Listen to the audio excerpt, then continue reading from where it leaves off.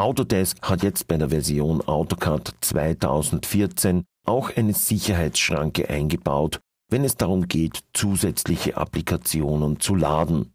Offensichtlich ist dies notwendig geworden, nachdem doch einige Mail-Software, also schadhafte Software, aufgetaucht ist, die sich zu einer DWG dazugeladen hat. Jetzt hat Autodesk dazu reagiert und in den AutoCAD-Optionen, diese kann ich hier unter dem roten A öffnen, in der Registerkarte System finde ich diese Sicherheitseinstellungen für ausführbare Dateien.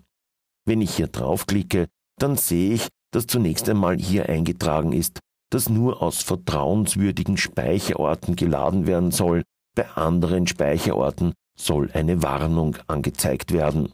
Diese vertrauenswürdigen Speicherorte, die kann ich wiederum in der Registerkarte Dateien wählen und zwar hier an dritter Stelle. Hier mache ich das Plus auf und kann damit Pfade hinzufügen, in denen vertrauenswürdige Zusatzprogramme bei mir auf der Maschine abgespeichert sind.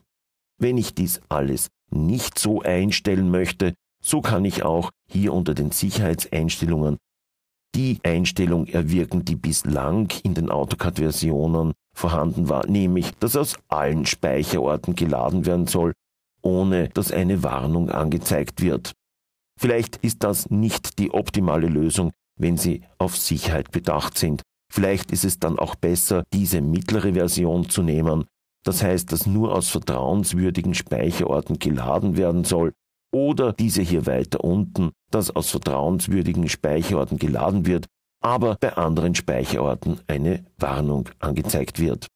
Ich lasse jetzt diese Einstellungen so, wie sie war und sage OK und auch hier wieder mit OK bestätigen.